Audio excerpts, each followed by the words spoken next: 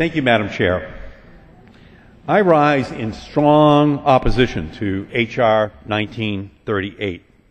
We are here debating whether to expedite the approval of a pipeline that will import the dirtiest crude oil on the planet into the United States of America by melting the oil out of the tar in Canada, which creates more greenhouse gases than any other production mes- uh, uh, uh, method for crude oil on the planet. It also destroys the boreal forest. It contaminates millions of gallons of water each day. That is a very high environmental price to pay for oil from tar in Canada that may not lower prices for Americans and may never be sold to Americans. But we will build the pipeline for them through our land to accomplish this goal.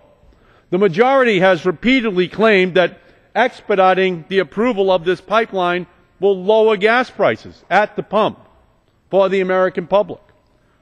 But what factual evidence should we rely upon in order to substantiate this claim?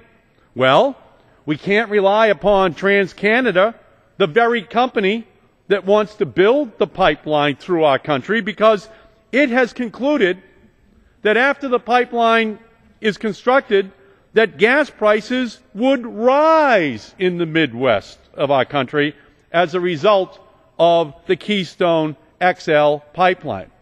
We are also told that building this pipeline will enable us to reduce our dependence on imported oil from countries who don't like us very much. Instead, we will be able to rely upon dependable Canada, our friends, the Canadians.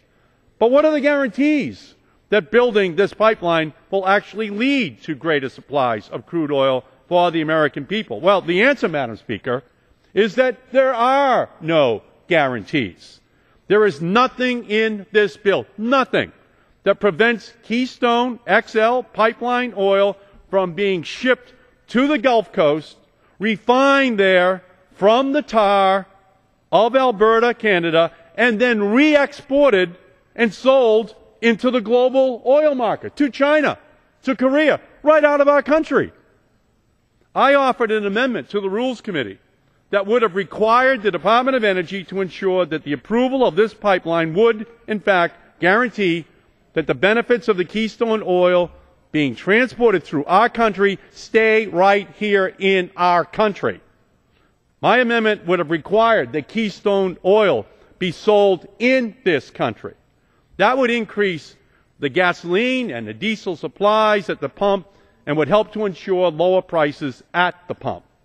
And my amendment would have benefited domestic businesses that use refined petroleum products, including plastics and chemical companies, by ensuring a steady supply of petroleum products for their manufacturing plants here, made in America.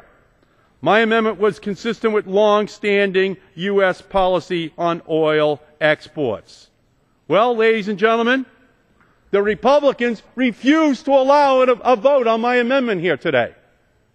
They won't even allow our members to vote on keeping the oil that is going to be transported in a pipeline that we're going to allow to be built through our country here. So yes, it's the dirtiest oil in the world. But at least if you're going to build the pipeline, at least have it be sold here in America and not sold to China, not sold to Korea. At least have that guarantee. They refuse to even have a vote on it, ladies and gentlemen.